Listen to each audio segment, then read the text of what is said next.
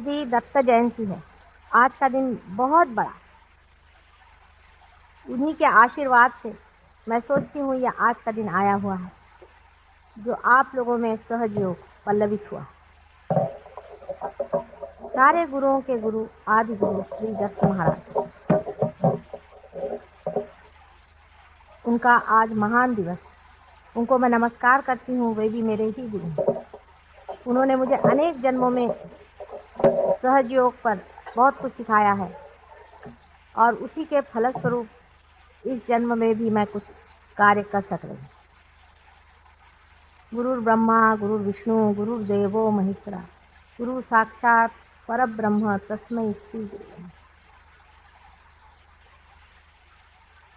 आद्या ने जब सब सृष्टि की रचना की, सारी सृष्टि रचना करने के बाद जैसे एक राजा अपना सारा राज्य फैलाता है और उसके बाद भेष बदल करके इस संसार को देखने आता है, उस तरह आदिशक्ति भी बार बार संसार में अवतरित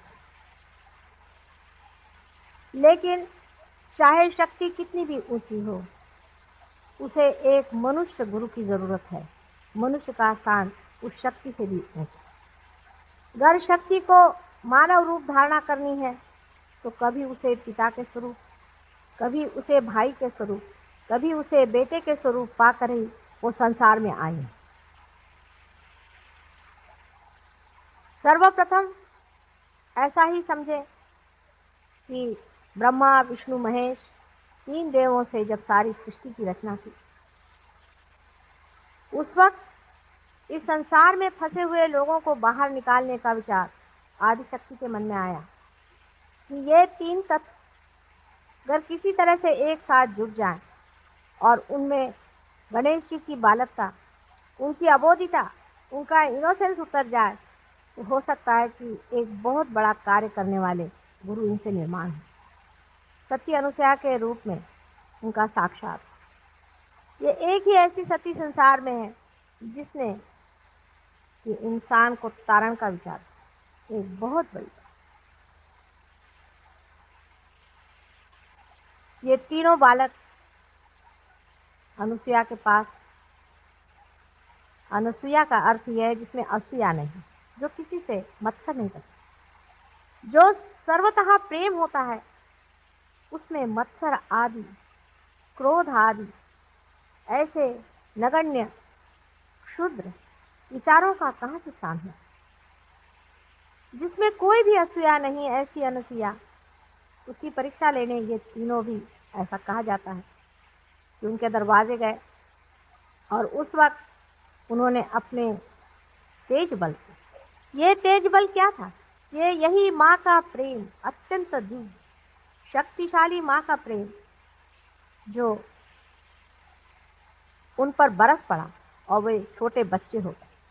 उन्हीं का एकाकार स्वरूप श्री दत्त महाराज है। एक अजीब सी विभूति है। इसका कि कितना भी वर्णन किया जाए तो कम है। और समझाया जाए तो भी समझते पड़े ऐसे त्रिगुणों से भरे हुए श्री दत्त महाराज आदि गुरु के रूप में संसार में आए और उन्होंने अनेक बार इसकी शिक्षा दी कि भव सागर को किस तरह से पार किया जाए।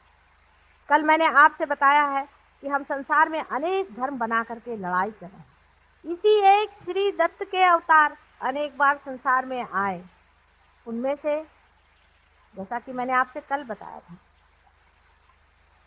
राजा जनक, जो कि जानकी जी के पिता थे, वे भी और कोई नहीं थे, पर इन्हीं दत्तात्रेय जी के अवतार। उसके बाद मचिंदर नाथ आपने नाम सुना होगा, वे भी उन्हीं के अवतार उसके बाद जो राष्ट्र जो तीन बार संसार में आए, वे भी उन्हीं के अवतार उसके बाद मोहम्मद था जो कि साक्षात उन्हीं के अवतार थे। और जब उनसे बहुत बार पूछा कि भाई, तुमसे भी तो पहले कोई आए होंगे? तो उन्होंने कहा कि आए थे एक मोहम्मद था फिर उनसे पूछा कि भाई, उससे पहले कौन था? कहले एक मोहम्मद था। मोहम्मद माने जो प्रेस होता है, जिसको प्रेस लगती जिसकी प्रेस की जाती जो स्तुति पात्र है, वही स्तुति पात्र है, जो संसार का तारण कर वही सारे मोहम्मद जो आए थे, वही सारे दत्तात्रेय जी बार बार संसार में आते हैं। उसके बाद नानक, गुरु नानक, उनकी अगर आप वाणी पढ़ें, उनकी अगर आप बातें पढ़ें तो आपको आश्चर्य है कि उन्होंने हर बार सहज में ही बात करी। उन्होंने कहा कि सहज समाधि लीला। उन्होंने कहा है, काहे रे बन खोजन जाई, सदा निवासी, सदा अलेपा तो है संग समाई। पुष्प मध्य जो बास बसत है, मुकुर माही जस छाई। तैसे ही हरि बसई निरंतर, घट ही खोजो भाई, घट ही खोजो, अंदर ही है। अंदर ही उसे प्राप्त करो। हम तो कविता गा रहे हैं, गाना गा रहे हैं, जो उन्होंने हमें डिस्क्रिप्शन दिया था, उसे रटे जा रहे हैं। हृदय के ही अंदर बसे हुए इस परम तत्व को खोजने की बात। अनादि काल से यह आदि गुरु बार बार जन्म संसार में ले करके और कर मोहम्मद साहब की जो लड़की थी, कल भी मैंने बताया है इसका इसके बाद शिया जाति शुरुआत मुसलमानों में शिया नाम की जाति शिया शब्द जो है, वो सिया से आया। सिया से आया हुआ शब्द सिया हो गया। सिया माने सीता जी आप अगर यूपी में जाएँ तो सीता जी कोई नहीं कहता है सिया जी सब कहते सियावर रामचंद्र की सब सिया का नाम ले। वो स्वयं सीता जी की स्वयं आदिशक्ति और उनके जो दो बेटे हुए थे, हसन और हुसैन, जिन्होंने कितने ही दुष्टों का नाश किया, उसके बाद तंग आकर के जब वो भी मर गए, उसके बाद दूसरे जन्म में उन्होंने सोचा कि अहिंसा को प्रस्थापित किया जाए। हिंसा से कुछ काम नहीं बना। एक नया एक्सपेरिमेंट करने के लिए उन्होंने बुद्ध और महावीर के रूप में जन्म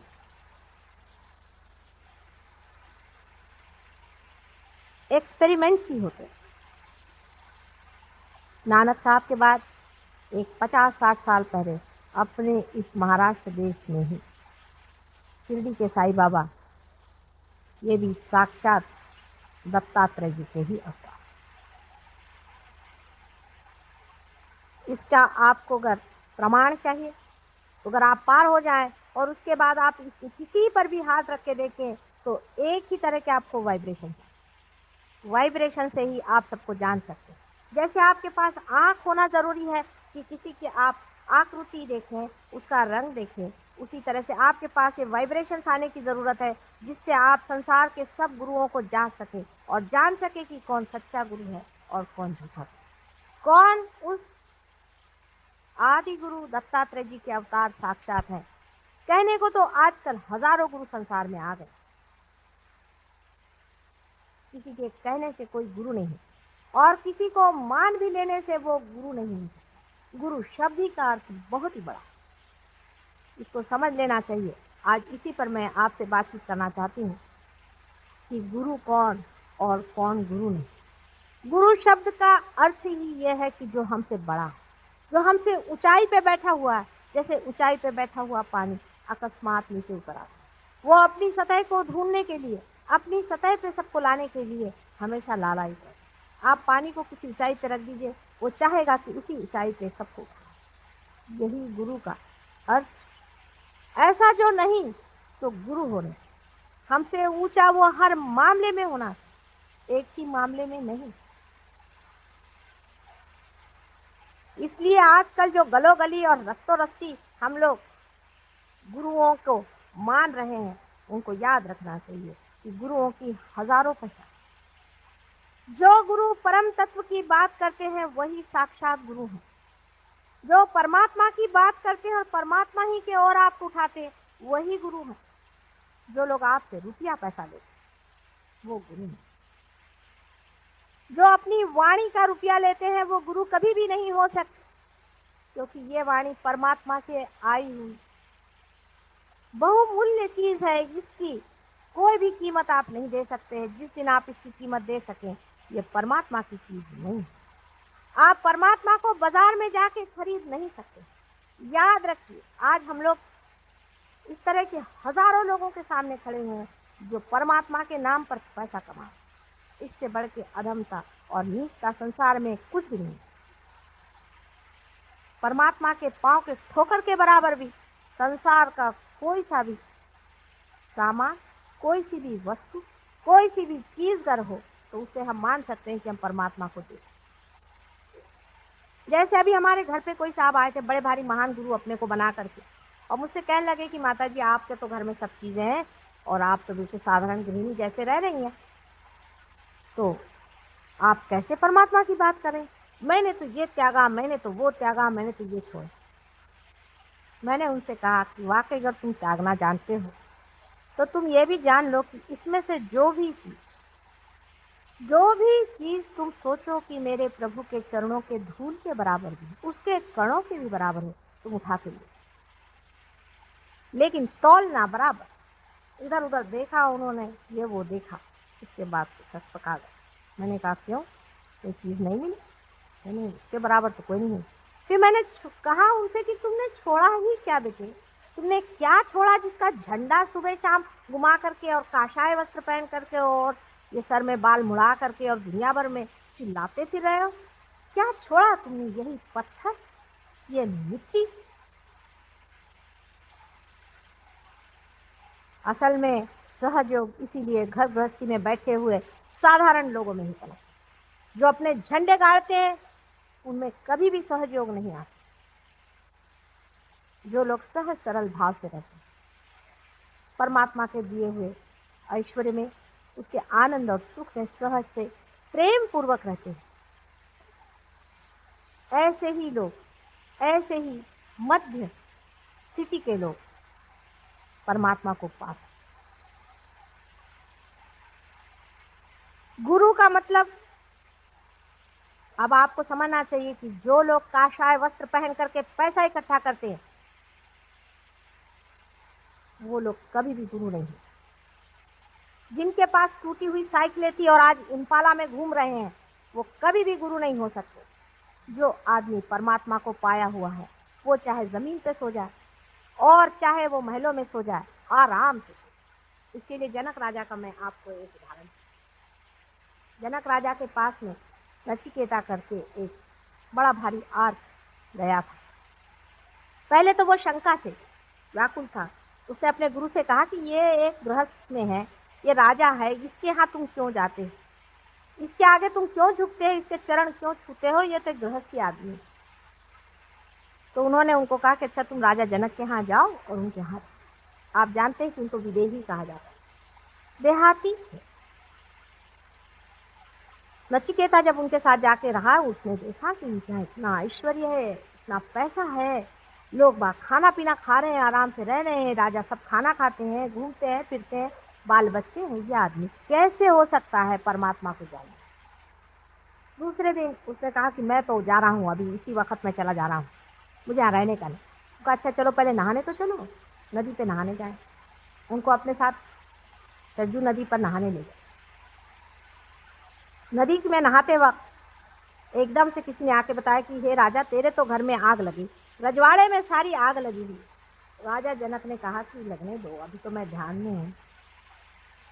हंस के कहा जरा घबराए। उसके बाद लोगों ने कहा कि सब तुम्हारे घर वाले भाग गए। आग तुम्हारी तरफ़ आ रही तो उन्होंने कहा, जाने दो। अभी तो मैं ध्यान में उसके बाद उन्होंने कहा कि, अरे भाई, आग यहाँ तक आ गई। तुम्हारे जो बाहर आभूषण और वस्त्र पड़े ये भी चले जाएँगे। वहाँ जो रक्षक थे, वो भी भाग गए। तो ये नचिकेत जो अंदर नहा रहे थे, उनके एक दो जो कपड़े बाहर पड़े हुए वो उन्होंने सोचा, अगर ये जल जाए तो मेरा क्या हाल होगा? तो भागे बाहर। उन्होंने अपने कपड़े पकड़ तो भी ये ध्यान में मत। जब ये लौट के आए, उसको बड़ा आश्चर्य तो उसने उनसे पूछा, कि राजा, आपको कोई चिंता नहीं कि आपके कपड़े आदि सब कुछ जल जाते और फिर आप क्या ऐसे ही घूम तब उन्होंने कहा, जो मिथ्या है, वो मिटने ही वाला तो कोई बचाने की ज़रूरत नहीं। जब तक है रहने दीजिए और नहीं है तो जाने। यही बात जो गुरु मिथ्या को मिथ्या नहीं समझते हैं, उनके पास आप क्या ढूँढने जा रहे हैं? हमारे ससुराल में एक किस्सा है कि एक बार ऐसा हुआ कि कोई बाराती आए और बारातियों ने कहा कि हमारे लिए कुछ आप ऐसी व्यवस्था करें कि हम दही बड़ात खाएँ। बारातियों के ज़रा नखरे होते हैं। और जाड़े के दिनों में लोगों ने कहा कि भाई, इस वक्त दही बड़ा बनाना बहुत मुश्किल है, क्योंकि जाड़े में दही बड़ा शाम के वक्त बनाया नहीं जाता। कब हम तो दही बड़ा खाएँगे? अब इसी वक्त लाइए आप दही बड़ा। तो एक बाबा जी वहाँ रहते थे। उनका पता चला। उन्होंने बाबा जी बुलाया कि भाई, आप किसी तरह से इंतज़ाम करो। तो कभी मैं मंगा तो दूँगा, लेकिन उसके बाद मैं रहने वाला नहीं अच्छा ठीक है, मंगा दीजिए। उन्होंने एक खिड़की बंद कर दी, दूसरी खिड़की बंद कर दी, दरवाज़ा बंद कर दिया। और उसके बाद कहा कि देखो, आगे आपका दही बड़ा खाई वहाँ सब दही बड़े आ गए। लोगों ने दही बड़ा खाना शुरू कर दिया। बड़े खुश हुए बाबा जी भाग रातों रात बाबा जी जान बचाकर भाग लोगों को समझ नहीं आया कि बाबा जी क्यों भागे। दूसरे दिन सवेरे वहाँ मांग लोग होते हैं एक शूद्र जाति होती है जो आती है और खाना वाना सब बटोर कर ले जाए वो आए और उन्होंने देखा बर्तन वगैरह को। कहने, अरे, हमारे कुल्लड़ कौन उठा के लाया फिर तो हमारे कुल्लड़ थे ये कौन उठा के लाया वो जो विवाह था, संपन्न तो हुआ था, इससे लड़की विदा हो गई, नहीं तो कोई लड़की को भी विदा नहीं कर वजह ये थी कि सब लोग बहुत नाराज़ हो गए। कहने लगे कि ये कौन लेकर के आए? हमारे पूर्वजों में, समझ लीजिए, हमारे पिता के ही थे। लोग इन सब चीज़ों में विश्वास ही नहीं करते थे। इसे भानामती कहा जाता था महाराष्ट्र में पहले। ऐसी चीज़ों में कोई भी विश्वास नहीं करता था कि ऊपर से कुछ चीज़ चली आ गई और उन्होंने दही बड़े खा लिए। अब क्या परमात्मा को कोई और धंधा नहीं दही बड़े खिलाने के सिवा? आप लोगों को भी सोचना चाहिए कि आप लोगों को दही बड़े खिलाने का ही उनको एक धंधा बचा हुआ। जब आप किसी को इसलिए गुरु बनाते हैं कि वो आपको दो सौ रुपया पकड़वा देते हैं। मैं कहती हूँ, ऐसे ही दाता लोग अगर हैं। तो इस देश का इकोनॉमिक प्रॉब्लम ही सॉल्व कर दीजिए। सबको दीजिए। घड़ियाँ मंगाते हैं, स्विट्जरलैंड से बनी हुई, एक भगवान से बनी हुई घड़ी मंगा दे तो मान ले इस चीज़ को सोच लेना चाहिए कि हम लोग उसी सुप्रीम को पाना चाहते हैं, उसी परम को पाना चाहते हैं। पर आपकी भी तो खोज इन्हीं जड़ वस्तुओं में है, इन्हीं पत्थरों में है, इसीलिए आप इन लोगों को गुरु मानते रुपया भी जाता है, पैसा भी जाता है, जब आपका सब पैसा निकल जाता है, तब आप मेरे पास आते हैं। कल एक स्त्री आई थी आपने देखा था, किस तरह से नाच रही थी, कूद रही थी। मैंने कहा, आप क्यों आई भाई? कहने लगे, क्या करें, आप तो ऐसे हो गए। मैंने कहा अच्छा है, लोग पागल तुम्हें बना और पागल खाना मैंने खोल रखा तुम वहाँ क्या खोजने गई? क्या नाचने, कूदने से परमात्मा मिल सकता है? हमारे मानव के जितने भी कायदे कानून बने हैं, उसमें उन लोगों को इसका अंदाज ही नहीं है कि मनुष्य कितना घृणित हो सकता जिन्होंने भी बनाए बहुत शालीन और अच्छे शुभ लोग थे। उन्होंने उस घृणता को और उस दुष्टता को पहचाना ही नहीं कि मनुष्य अंदर से कितने गंदे कामों में फंसा हुआ अगर वो लोग जान जाए तो नए कायदे बनाने पड़ेंगे इन लोगों को सबको पकड़ने के लिए। ईसा मसीह को तो इन्होंने उठाकर सूली पे चढ़ा दिया। तो आसान था। लेकिन इन लोगों को तो कोई पकड़ ही नहीं पाता जो रात दिन आपसे रुपया खसोट करके और आप लोगों का सर्वनाश करने पर लगे हैं। और कल आपके बच्चों को पागल खाने में भेजने के लिए तैयार बैठे हुए कभी आप लोग इधर भी आँख उठा कर और सोचिए कि ये क्या है। परमात्मा के नाम पर जड़ वस्तुओं को बांटना कहाँ की भलमानसियत आप भी क्या कभी सोचते नहीं? कलयुग में तो मैं सोचती हूँ कि मनुष्य के पास इतनी प्रगल्भ बुद्धि है, इतनी उसके अंदर सूझबूझ है। क्या वो सारी अपनी बुद्धि को बेच खाता है? कि वो समझता नहीं कि ये एक तरह का मेस्मरिज्म है और एंटाइटमेंट है।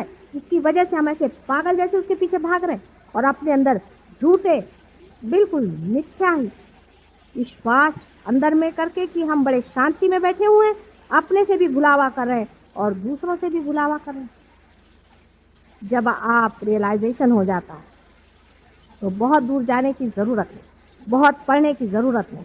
आप समझ सकते हैं कि आप रियलाइज़ इसमें आप में एक दर अंदर से शांति मैं देखती हूँ कि इतने लोगों के गुरु हैं और 30-30, 40-40 साल में हार्ट अटैक आकर के लोग मर जाए असंभव की बात है अगर आप में रियलाइजेशन का जरा सा भी तत्व एक बार जाग उठा है तो हार्ट अटैक तो क्या कोई एक्सीडेंट भी होना मुश्किल है। ऐसे ऐसे उदाहरण हमारे अंदर है कि छोटा सा लड़का अभी परसों बता रहे थे कि ट्रेन से आ रहा था और ट्रेन पूरी उलट गई। जिस डिब्बे में वो बच्चा था उसमें से एक भी आदमी को चोट दी और वो पार बचा आपके ऊपर देवता मंडराना चाहिए। अगर दिव्य नहीं उतर सकता तो ऐसा रियलाइजेशन क्या? अब हमारे ही लोग, आप जानते हैं कितने ही पार हुए हैं कैंसर तक की करते कोई विशेष बात नहीं। कोई विशेष हमारे ख्याल से बात नहीं। सिर्फ़ यही है कि इनको इसमें इंटरेस्ट नहीं है, किसी को क्योर करने में। उनको रियलाइजेशन में ही इंटरेस्ट है, क्योंकि जो आनंद आपने पाया है वही आप चाहते कि सब पाए? सहज नहीं है। अगर आपके पास रुपया पैसा है तो आप चाहते हैं कि रुपया पैसा खर्च करें, लोगों को खिला पिलाए। ऐसे ही रियलाइज़ सोल भी चाहेगा मन में कि दूसरों की भी जागृति करे और पार करे और कर सकते। अगर आपके अंदर लाइट आई है, उसके लिए कसम लेने की कोई ज़रूरत नहीं। कस्तूरी का अगर सुगंध आ रहा है तो उसके लिए कोई आपको कसम लेकर कहने की ज़रूरत नहीं कि यहाँ पे कस्तूरी का सुगंध। लेकिन कस्तूरी की खोज है किस? ये पहले अंदर सोच लीजिए। नहीं तो ऐसे चक्करों में घूमने की कोई ज़रूरत एक साइड में तो हमारे ये लोग हैं, जो कि हमारे सबकॉन्शियस से खेल हमारे जड़ चेतन से, हमारे पास से खेल रहे मैं ऐसे भी लोगों को जानती हूँ। इस खोज में मैंने बहुत गुरु घंटालों को देखा। और सबके मैं हथकंडे जानती हूँ कि ये क्या क्या दशा करते हैं। और किस तरह से जन्म जन्मांतर के लिए आपकी कुंडलिनियों का सत्यानाश कर? मैं बहुत से ऐसे लोगों को जानती हूँ जो आपके पिछले जन्म की बातें बता उसी से आप अभी अभिभूत हो जाते किसी ने कह दिया, मैं तुम्हारा पति था। एक थी मेरे पास आई कहने माता जी मैंने उनको अपना सर्वस्व दे दिया। मैंने कहा, क्यों? क्यों लिया तुमने? कहने मेरे से कह रहे थे कि मैं तुम्हारा पति मैंने कहा, तुम्हारा पति बड़ी पातिव्रत्य है तुम्हें। अगर ऐसा ही पातिव्रत्य है तो जो मर गया पति उसके लिए तो तुम इतनी मरी जा रहे हो और जो तुम्हारा पति आज जीवित है उसका क्या हाल उसके प्रति कोई पातिव्रत्य नहीं। और ये जो एक पैसा खाओ, वहाँ बैठा हुआ है, उसको तुमने सारे जेवर दे दिए, क्योंकि उससे तुमसे कहा कि वो तुम्हारा पति फिर कोई कह रहे थे कि ये साहब हमसे कह रहे थे कि हम भगवान के अवतार हम परमेश्वर अरे कोई कहने को अपने देश में किसी को क्या लगता? झूठ बोलने में तो हम लोग पक्के माहिर हैं। कोई सी भी झूठ बोल दीजिए। इसको साइकोलॉजी में स्टिग्माइड पर्सनालिटी आप पढ़ेंगे साइकोलॉजी तो आप समझ सकते हैं कि साइकोलॉजिस्ट ने भी इनका पता लगाया है। नहीं लगाया ऐसी बात नहीं। बड़े शोर लोग खड़े होकर के जो चाहे तो अंत शंट बकने लग जाते और लोग उसे विश्वास करने लग जाते ऐसा बाइबल में भी कहा गया है कि ऐसे बहुत से संसार में आए कमल के रही कहने लगे हम भगवान। अरे भाई, भगवान है तो उसकी कोई शक्ति भी तो होती है। एक महाशय जी मुझसे कहने लगे, मैंने उनसे कहा कि आपके पास में इतनी औरतों का जमाघट क्यों भाई? आप दरवाजे बंद बंद करके ये क्या कर रहे हैं? क्योंकि भगवान के नाम पे ये काम क्या करें क्योंकि किसी स्त्री पर बहुत उन्होंने अत्याचार किया था। मुझे आकर प्राइवेटली बताती, मैंने कहा, तुम कोर्ट में जाके बताओ। कि आदमी पकड़ा जाए उनको हम कोर्ट में कैसे बताएँ? हमारे ऊपर आफत आ जाएगी। हमारी इज़्ज़त है। हमारी फैमिली है। तो मैंने कहा जब तुम कोर्ट में नहीं बता सकती तो इसका कैसे पार हो? तो वो महाशय से जाकर जब मैंने कहा कि तुम ये क्या कर रहे हो, क्यों ऐसा पाप धो रहे हो? क्या तुमको इससे मिलेगा? परमात्मा के नाम तो उससे कहा लगा, तुम्हें नहीं मालूम मैं श्री कृष्ण हूँ। मैंने कहा, वाह भाई शकल तो आपकी भूत जैसे और आप श्री कृष्ण बने आप श्री कृष्ण कैसे हुए? मैंने कहा, श्री कृष्ण को आप कितना जानते हैं? जिसने पाँच साल की उम्र में कालिया का मर्दन किया था, उसके सर पे चढ़ के वो कहा मैंने कहा, मैं आपकी दाढ़ी ऐसे नोट सुनूँ तो अभी उठ नहीं सकेंगे मज़ाक ही में मैंने कह दिया, बाद में सुना था किसी ने उनकी दाढ़ी आधा घंटा पकड़ी रही थी, वो हिलते रहे वैसे मैंने तो यही कह दिया। ऐसे श्री कृष्ण पैदा होने लग जाए। दूसरे साहब कहने लगे कि मैं औरतों को इसलिए नग्न करता हूँ क्योंकि कृष्ण ने औरतों को नग्न किया। बताइए, कहाँ की बेवकूफ़ी की बातें? श्री कृष्ण पाँच साल की उम्र में बच्चों जैसे उनकी लीला थी। औरतों के साथ में उनको क्या लगी और पाँच साल का बच्चा उनसे बहुत गहन अर्थ वो तो सहज योग कर रहे थे। पाँच साल के बच्चे के लिए कौन बड़ा और कौन छोटा? उसको सब ये समझता था पाँच साल के भी नहीं थे उससे भी छोटे थे। तो मैंने उनसे कहा, अगर यही बात की तो काहे के लिए द्वारिका में बैठे हुए वो द्रौपदी के वस्त्रहरण के वक्त में दौड़े गए थे वहाँ? शंख चक्र गदा पद्म, गरुड़ लई सिधारे, क्यों सिधारे? क्यों सुधारे थे? अगर उनको स्त्री की पवित्रता का कोई ख्याल नहीं था तो ये आप जवाब दें इस पर वो श्री कृष्ण जी चुप हो कहाँ तो एक उंगली पर गुरु को पकड़ने वाले वो श्री कृष्ण? और आजकल हर एक गली में और बाज़ार में मिलते हैं। जहाँ जाइए, वहाँ एक श्री कृष्ण है, एक शिव जी भगवान। कहाँ शिव जी भगवान? कहाँ श्री कृष्ण? कुछ आपकी बुद्धि बच गई है या नहीं? मुझे कभी कभी बड़ा आश्चर्य। बहुत ही आश्चर्य होता है कि मनुष्य जो कि बुद्धि की इतनी प्रगल्भता में पहुँच गया जिसको परमात्मा ने सारी ही बुद्धि के आव, आवरण खोल दिए ऐसे मनुष्य के बुद्धि में धर्म के मामले में इतना पर्दा था। अपने ही देश में नहीं है इसकी तो बात यह है कि परदेश में भी इस कदर अंधकार। एक वहाँ योगी जी पहुँचे हुए थे। उनके शिष्याम से मिलने वो हमारे सामने आए देखते क्या उनका आज्ञा चक्र और नाभि चक्र दोनों को गोल घुमा दिया। और वो भजन गा रहे उन्हीं उल्टा घुमाने का मतलब है, आदमी जो पागल होता है, अब आप अगर पार हो जाए तो आप भी देखेगा जब आदमी पागल हो जाता है तो उसका आज्ञा चक्र और नाभि चक्र उल्टा घूम। ये सब प्रेत सिद्धता, स्मशान सिद्धता हमारे देश में, भारतवर्ष में पुराने ज़माने से चली उसके बारे में हमारे यहाँ कोई जानता नहीं है, ऐसी बात नहीं, लेकिन उसकी और ये ज़रूर है कि आधुनिक शिक्षण व्यवस्था में उधर ध्यान नहीं। इसको मराठी में भी कहते हैं कि करणी। ये जो देवियाँ एवियाँ आती हैं किसी के बदन में और हम लोग उनको कुंकू लगाने जाते हैं, उनके अंदर भूत आते हैं, हमें समझ में क्यों नहीं आते? ये सब प्रेत विद्या और स्मशान विद्या है। इसका भी एक बड़ा भारी साइंस है। उस पर भी मैं कभी चाहे तो बताऊँगी आपको। पर आज दत्त महाराज के चरणों में खड़ी हूँ इसको भी जान लेना चाहिए। ये सब महामूर्खता के लक्षण हैं, जो हम ऐसे दूसरों के हाथों में अपने को बेच कम अज कम अपनी बुद्धि को सही रखें थोड़ा सा झटक के सोचें।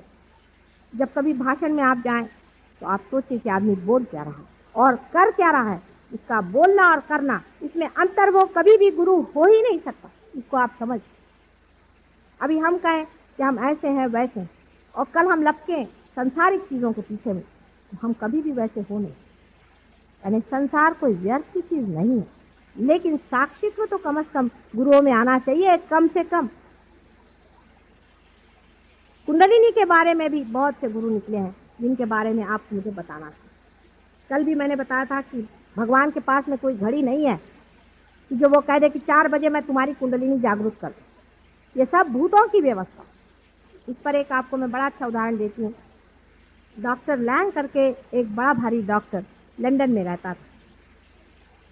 उसने कुछ बहुत शोध किए थे और वो चाहते थे कि लोगों को उसे क्योर किया जाए लेकिन अकस्मात उनकी एक एक्सीडेंट में मृत्यु हो। इसके कारण वो अपना जो शोध था लोगों को बता नहीं पाए। तो उन्होंने, जब उनकी मृत्यु हो गई, हम जब मरते हैं तो पूरे नहीं मरते। थोड़ा सा हिस्सा गिर जाता है, बाकी सूक्ष्म शरीर जीवित है। तो उन्होंने इस सूक्ष्म शरीर में यह सोचा कि चलो किसी के अंदर घुस कर ही प्रवेश करके दे तो एक वियतनाम में एक सोल्जर लड़ रहा था, उसके शरीर में उन्होंने प्रवेश किया। और उससे कहा कि तुम मेरे लड़के के पास चलो और उससे ऐसी ऐसी बात बता। अब ये सोचे कि डॉक्टर लैंग को ऐसा ही करना था तो अपने लड़के के अंदर क्यों नहीं घुसे? क्योंकि जानते थे कि इसके कुछ परिणाम भी। तो उन्होंने कहा कि अच्छा तुम मेरे लड़के से जाकर सारी बात बताओ और उसको हमारे बात पट जाए। जब ये सोल्जर उस लड़के के पास गया और उसे जाकर बताया तो वो इस बात को मान गया। उसने कहा कि हाँ ये तो सब बातें सिर्फ़ मेरे पिताजी और किसी को मालूम नहीं। उसने कहा, चलो तुम क्लिनिक खोलो। उन्होंने एक बड़ा भारी एक ऑर्गेनाइजेशन बनाया, जिसके मातहत वो लोग लोगों को ठीक करते। अब डॉक्टर लैंग के साथ बहुत से और डॉक्टर उनके साथ जुड़ गए।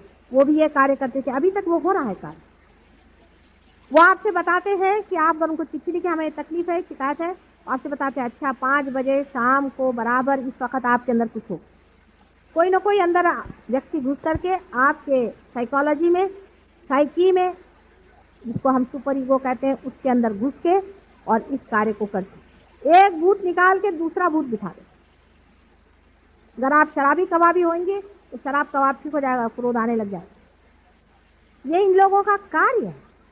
पर बेचारे बहुत सीधे हैं, क्योंकि वो लोग कम अज कम ये तो कहते हैं कि हम स्पिरिट का काम करते हैं। वो ये नहीं कहते कि हम भगवान का काम करते लेकिन अपने देश में तो लोग पक्के भूत नहीं, राक्षसों का काम करते हैं और उसको भगवान का नाम लेते हैं। ऐसे लोग अगर किसी को थोड़ा सा ठीक भी कर दें तो उससे क्या फ़ायदा? कुंडलिनी जिससे खराब हो। अपनी माँ पे जहाँ चोट है, ऐसी जगह जाने की कोई ज़रूरत आज नहीं, कल आप लोग ज़रूर पार हो जाइएगा। लेकिन गलत रास्ते पर मत जाइए। एक बार आपकी कुंडलिनी खराब हो जाएगी तो मैं उसमें कुछ भी नहीं करता। सारा ही कार्य खत्म हो जाएगा। जिन जिन की कुंडलिनियाँ खराब हो गई है, आप लोग जानते हैं, आप में से बहुत से लोग पार हुए हैं। कितनी तकलीफें हमने उठाई। कुछ कुछ लोगों पर तो हाथ रखते वक्त इन लोगों के हाथ में बड़े बड़े ब्लिस्टर था। बहुत बड़े बड़े ब्लिस्टर था। और उन लोगों से जब वो जब मेरे और हाथ करते, उनको भी कभी कभी थोड़ा थोड़ा ब्लिस्टर जैसा आ जाता है। पर जलता तो बहुतों का हाथ है। मेरे पास तो एकदम ठंडी ठंडी हवा चल रही लेकिन उनके हाथ जल रहे हैं। क्योंकि मैं चाह रही हूँ उनकी सत्ता को स्थापना दूँ और उनके अंदर तो कुछ और ही सत्ता बैठी है। ऐसे गुरुओं से बच के रहिए, क्योंकि कायदा इसे रोक नहीं। किसी तरह से भी इसकी रोकथाम नहीं, सिर्फ़ अपनी बुद्धि से सोचिए। अपने बुद्धि से सोचिए कि सच्चा गुरु कौन है। वही जो आपको परम उस पर अभी मेरे एक औरत ने मुझसे सवाल पूछा था, बहुत मौके का सवाल था। उसने मुझसे पूछा कि क्या आपने और भी कोई रियलाइज़ सोर्स दुनिया में देखे हैं जो कि आपके पास आए बगैर हैं। ऐसे तो बहुत हो चुके और अभी भी हैं। तो इसी कारण मैं अपने बहुत से शिष्यों को लेकर कोल्हापुर से दूर 25 मील दूरी पर एक जंगल में पहाड़ी के ऊपर सात मील दूरी पर गगनगढ़ में आज उनका बहुत बड़ा उत्सव है। इसके लिए मेरी सारी शुभेच्छा है। वहाँ पर एक बड़ा भारी जीव है। मैं इनको ले गई, मैंने कहा, तुम ऐसे हाथ रखो, बस हाथ के सहारे की इससे वाइब्रेशन आ रहे माँ, कि कौन सा जीव यहाँ क्यों वो जंगल में चले गए? ये भी सोचने की बात है, जितने भी बड़े बड़े पहुँचे हुए लोग होते हैं, जंगल में रहते आपने नित्यानंद जी के लिए कहा, जो कि असली में बहुत बड़े पुरुष थे, कि वो अगर कोई भी आता था, उनको पत्थर मारते थे और कहते थे, भाग जाओ यहाँ से, निकल जाओ हमारे नागपुर में ताजुद्दीन बाबा थे, उनके लिए भी लोग ऐसा बने। वो तो जंगल में ही रहते थे, बेचारे अब वहाँ आबादी हो गई क्यों ये लोग जंगल में भाग जाते हैं? उसके दो चार कारण अभी आपने देखा होगा यहाँ छोटे बच्चे बैठे थे, उनके हाथ जल रहे थे, खूब यूँ कर रहे इसी तरह से उनके बदन जलने लगते हैं। बहुत से साधु तो बेचारे पानी में ही रहते हैं। क्योंकि आप लोगों की जो साइकी है सुपर ईगो है, उसमें बैठे हुए भूत इनको जलाने के लिए लगे इन भक्तों को सताने के लिए लगे हैं। इसलिए वो जंगल में भाग के खड़े थे, क्योंकि आपको तो पता नहीं आप कर क्या रहे हैं। आपके वाइब्रेशन आपको समझ कहाँ आते हैं? इसलिए बेचारे जंगलों में जाकर के बैठे हैं कि बाबा बचाओ ही उनको तारण आरण वो कहाँ से करें? गगनगढ़ के महाराज का ही देखिए। उन्होंने बहुतों को तो ठीक किए, लेकिन क्या है उनकी उंगलियाँ टेलीस्कोप के जैसे अंदर चली पाँव की उंगलियाँ भी ऐसे अंदर चली गई। बेचारे शेर पर या सिंह पर सवारी करते हैं, उसके बाद अलावा उधर से उधर जान। लेकिन जब मैं उनके पास पहुँची जो लोग मेरे साथ थे, उन्होंने भी देखा। उन्होंने फ़ौरन मुझे पहचाना। कोई शंका ही उन्होंने आज तक मुझे इस जन्म में नहीं देखा। लेकिन बहुत सालों से मेरे बारे में वो जानते ही थे। उम्र में भी मेरे से बड़े हैं। पहले मैं बहुत सालों से आपका इंतज़ार करा था, माँ, आज हमारा कितना भाग्य कि आप पधारे। वो नाथ पंथी है, इसलिए मच्छिंदर नाथ के ही वो और बड़े पहुँची होती है। ऐसे ही मैं हिमालय पर भी गई थी, वहाँ पर भी मुझे मिले। ऐसे ही हरिद्वार में एक दो हैं, बहुत ही कोह में रहते हैं। मैंने उनसे कहा बाहर आने का मौका मैं तुमको बताऊँगी कि अपनी शक्ति को कैसे बचाना और किस तरह से इन लोगों का प्रहार वापस लौटाना। मैं बैठती हूँ, तुम आओ तो सही, सबको मैं ठीक कर इनकी भी मैं नानी हूँ, आ जाओ। बहुतों ने कहा है कि माँ आएँगी, ज़रूर आएँगी। लेकिन हिम्मत जुटती ने विचारों की, क्योंकि उनके हाथ पैर तोड़ दिए, उनके बदन में छाले डाल दिए, उनको जला दिया। राक्षसों के काम। समझ लीजिए कि दस राक्षस और छह राक्षस नहीं अभी तक मैं जोड़ पाई जन्म लेकर इस कलयुग में आए हैं। आजकल के ज़माने में अगर समझ लीजिए रावण आ जाए तो वो अपने को कहने नहीं वाला कि मैं रावण। वो तो अपने को भगवान ही कहेगा। तो रावण कहे तो अभी कैद में बंद न हो जाए। रावण की पहचान, राक्षसों की भी पहचान है, वो भी मैं आपको बता देती हूँ। आप देखिए, आपको फ़ायदा हो। जिस आदमी की आँख बिल्ली के जैसे, आप बिल्ली की पहले आँख देखिए, तब आपको समझ आए क्योंकि बहुत से लोग बहुत सी चीज़ें देखते ही नहीं। बिल्ली की आँख जैसे उसके अंदर की पुतली होती है प्यूपिल होती है, आप देखते देखते एकदम छोटी होते तो गुल हो जाती। ऐसे ही राक्षसों की आँख होती मैं सबको जानती हूँ अच्छे से। हर एक जन्म में मैंने इन लोगों को देखा इनकी आँख से आप पहचान सकते हैं कि ये लोग राक्षस हैं, उनकी आँख की पुतली एकदम छोटी होकर के गुल है। ये पहचान। कहने को भगवान कहे, नहीं तो और कुछ है राक्षस लोग। और इन लोगों ने बहुत सी सिद्धियाँ प्राप्त कर ली हैं। ये हमारे भोला शंकर जी का काम है, क्या करें? उन्होंने बहुत सारी सिद्धियाँ प्राप्त करी। जैसे रावण को एक सिद्धि थी कि जब वो बोलते थे और भाषण देते थे तो नाभिक चक्र में वो ऐसे कुछ काम कर जाते थे कि वहाँ पर एक एक भूत बैठ जाता। हज़ारों लोग अभिभूत होकर के उनके कहने को सुनते थे। यहाँ तक कि राम को लड़ने के लिए कोई तैयार नहीं था, उन्होंने सबको तैयार कर इसी तरह से महिषासुर की भी थी। सारे ही असुरों की अपनी अपनी उन्होंने सिद्धियाँ की हुई थी आप जानते हैं। और इसी सिद्धियों के कारण वो लोग हमेशा अच्छाई का दमन करते रहे, प्रकाश को दबाते रहे और अंधेरा बढ़ता है। आज कलयुग में बराबरी, सारी बराबरी है और आप सोच रहे हैं कि मेरे दो ही हाथ हैं। आप ही लोगों का, आप ही लोगों का कार्य है। आपको आश्चर्य कि देवता भी एक तरफ़ बैठे हुए हैं और राक्षस भी एक तरफ़ बैठे घमासान युद्ध चल रहा है।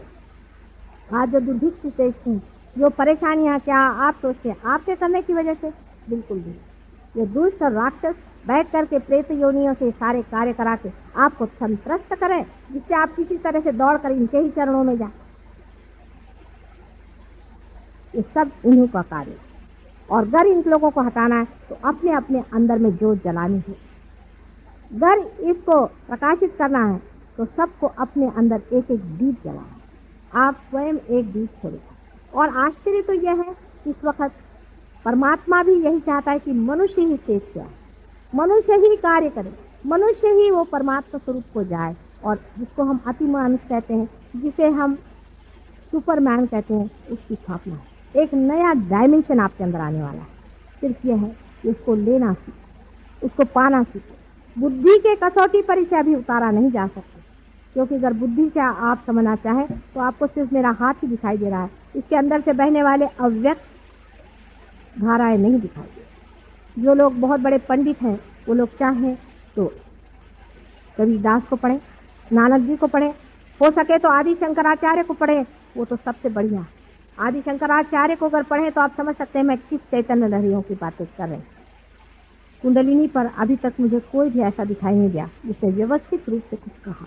या समझा ही थोड़ा थोड़ा ज्ञान हो जाने से ही कभी कभी बड़ा भारी, भयंकर अनर्थ होता ऐसा ही अनर्थ कुंडलिनी के बारे में भी आज तक होता रहा ही होगा। नहीं तो इस तरह की विचित्र बातें न जाने किस समझ से इन लोगों ने लिखी है। लेकिन तो भी मनुष्य की दृष्टा स्थिति इतनी ऊँची है, इतनी ऊँची है जैसे देवी भागवत आप मार्कंडेय स्वामी की सप्तसदी आप पढ़े, आपको आश्चर्य होगा कि कितनी गहराई से, कितनी छोटे छोटे डिटेल्स में उन्होंने इस चीज़ को जाना। असल में जब तक आपका रियलाइजेशन नहीं होता, तब तक सभी कुछ करना व्यर्थ। कृष्ण ने भी यही कहा। कृष्ण ने भी यही कहा था कि पहले उसको अंदर ही पालो, लेकिन समझने वाले ने समझा नहीं। वो पहले अंदर पालो, फिर कहते, बाहर तुम लड़ने जाओ। उनका मतलब था तुम साक्षी हो जाओ। साक्षी होने के बाद तुमसे हो रहा है अकर्म। चला जा रहा है। आप कुछ करते ही नहीं, वो ईगो ही खत्म हो गया। वो सुपर ईगो ही खत्म हो गया जो करता है। करने ही वाला टूट जाएगा। ये वो कह रहे थे, लेकिन जब माना नहीं तो वो तो डिप्लोमैट थे, राजकारणी थे। कृष्ण की भी अपनी एक तरह के गुरुत्व है। उनका गुरुत्व बड़ा मज़ेदार है, बड़े भारी राजकारणी थे। इसको मैं कहती थी एब्सोल्यूट प्योर पॉलिटिशियन ऐसा बड़ा पॉलिटिशियन था वो। और वो सबको जानता था कि इन महामूर्खों को ठीक करने का यही तरीका जिस वक्त में कि एक बच्चा है, वो अपने घोड़े को गाड़ी के पीछे बाँध करके हाँक रहा है तो बाप आकर के कहता है, चलने दो घोड़ा, ऐसे चलने दो, हाँकते रहो हाँकते रहो, पहुँच जाओ। फिर बच्चा जब हार कर सोचता है, अरे, घोड़ा तो चल ही नहीं रहा, तब उसको फिर समझ में आता है कि घोड़े को आगे करना चाहिए और तब हार। इसीलिए उन्होंने कहा कि अच्छा तुम कर्म योग करो। अब देखिए उसमें डिप्लोमेसी कृष्ण की कृष्ण के जैसा भी गुरु मिलना बड़ा कठिन ऐसा गुरु है कि उसके लिए बहुत ही बुद्धि की तीक्ष्णता प्रखरता चाहिए। आज तक आपको किसी ने बात नहीं बताई होगी, जो मैं आज बताऊँगी, आप सुन ली उन्होंने कहा कि अच्छा तुम कर्म करो। लेकिन जो कर्म का जो फल है, परमात्मा पे ये हो ही नहीं सकता, बिल्कुल एब्सर्ड कंडीशन जब आप किसी चीज़ को कर रहे हैं और जान रहे हैं, कर रहे हैं, आप उसको किसी और पे कैसे छोड़ सकते घोड़ा पीछे करके ही हाँकने को कह रहे हैं। दूसरा उन्होंने कहा कि तुम भक्ति करो। देखिए, इसमें भी देखिए, बड़ा सुंदर है। तुम अनन्य भक्ति करो। जब दूसरा कोई नहीं रहे, तब भक्ति कैसे होने वाली है? मतलब ये कि जब मिलन हो गया, तब भक्ति किसकी करनी